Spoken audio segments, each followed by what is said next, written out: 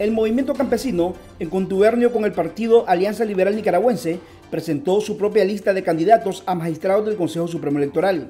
La propuesta fue presentada por el presidente y diputado de ALN, Alejandro Mejía Ferretti, señalado de ser colaborador con la dictadura de Daniel Ortega. En la lista de los seis aspirantes a magistrados está Harold Sánchez, ex candidato a diputado por el ALN en 2016 y actual mano derecha del exreo político y precandidato a la presidencia de Nicaragua, Medardo Mairena. Esta propuesta del campesinado sale paralela a una propuesta que se supone habían acordado en la coalición nacional.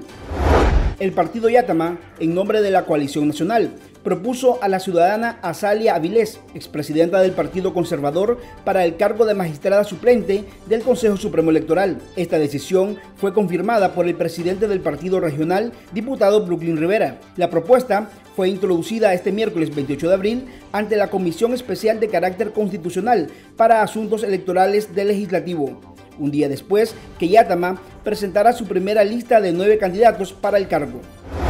A través de una carta dirigida al secretario general de la Organización de Estados Americanos, OEA, Luis Almagro, 95 organizaciones de la oposición que integran las plataformas opositoras Coalición Nacional, Alianza Ciudadana y otras que están en el exilio, solicitaron que el organismo regional presione al régimen de Daniel Ortega a que apruebe reformas electorales reales y que se elijan a magistrados del poder electoral idóneos.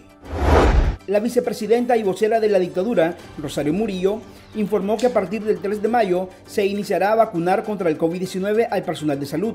Esta jornada dará inicio después de dos meses que comenzó la vacunación a personas con enfermedades crónicas, pero al sector salud no se le dio prioridad, pese a las recomendaciones de la Organización Mundial de la Salud, que indicó que era necesario vacunar a este sector. La vacunación, según el régimen orteguista, será voluntaria y se aplicará en los distintos hospitales del país.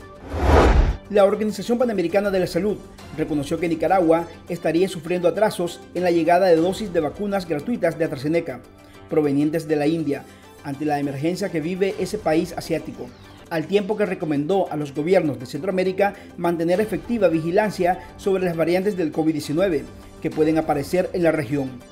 La OPS informó que en la región centroamericana se está registrando un aumento de casos y la presencia de nuevas variantes, sobre todo en Costa Rica y Guatemala. Ante tal escenario, llamó a los estados de la región que mantengan una efectiva vigilancia sobre el comportamiento de la pandemia los bancos comerciales podrían ser multados con hasta 3.6 millones de córdobas si se niegan a ofrecer sus servicios a personas sancionadas por Estados Unidos, según lo establecido en la normativa de la Superintendencia de Bancos y de otras instituciones financieras relacionadas con la reforma a la ley del consumidor. Síganos en nuestras redes sociales e infórmese en nuestro sitio web www.articulo66.com. Les informó Noel Miranda.